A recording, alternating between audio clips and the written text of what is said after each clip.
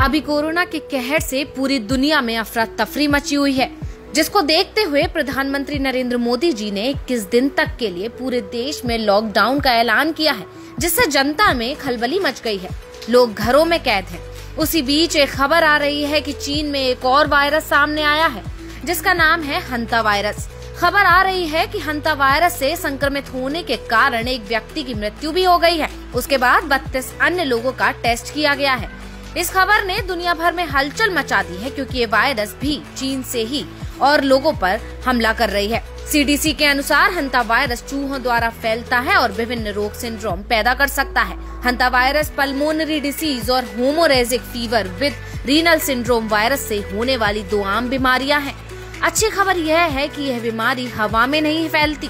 यह केवल तभी फैल सकती है जब कोई व्यक्ति किसी संक्रमित चूहे के मूत्र, मल और लार के संपर्क में आने के बाद अपनी आँखों, नाक या मुँह को छूता है। इस वायरस के लक्षण के बारे में बात करें तो इस वायरस से संक्रमित व्यक्ति को थकान, बुखार, जी मिचलाना, मांसपेशियों में दर्द सिर दर्द, ठंड लगना, पेट की समस्या, सूखी खांसी, सांस में कमी जैसी महसूस होती है। यदि इस बीमारी के बारे में शुरुआत के दिनों में पता नहीं लगता है तो इस बीमारी के कारण छाती में पानी भरना, तीव्र गुर्दे की बीमारी होना, शरीर में दर्द होना और अंगों की विफलता हो सकती है। इस वायरस में भी कोरोना वायरस की तरह ही फ्लू के समान लक्षण होते हैं, जिससे इसका पता लगाना मुश्किल होता है। इसके लिए कोई विशेष टेस्ट नहीं है। सीडीसी के अनुसार हंता वायरस के संक्रमण से बचने के लिए कोई टीका या उपचार उपलब्ध नहीं है। हालाँकि अगर हंता वायरस से पीड़ित व्यक्ति का जल्द पता लग जाता है तो व्यक्ति को उचित देखभाल और ऑक्सीजन थेरेपी देकर इसका इलाज किया जा सकता है।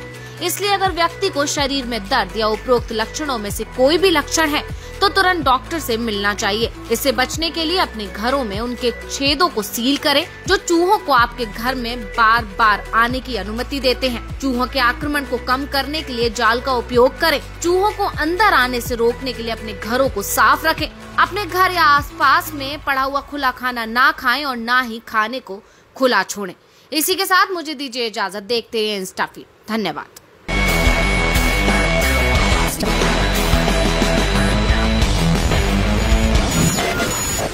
InstaFeed.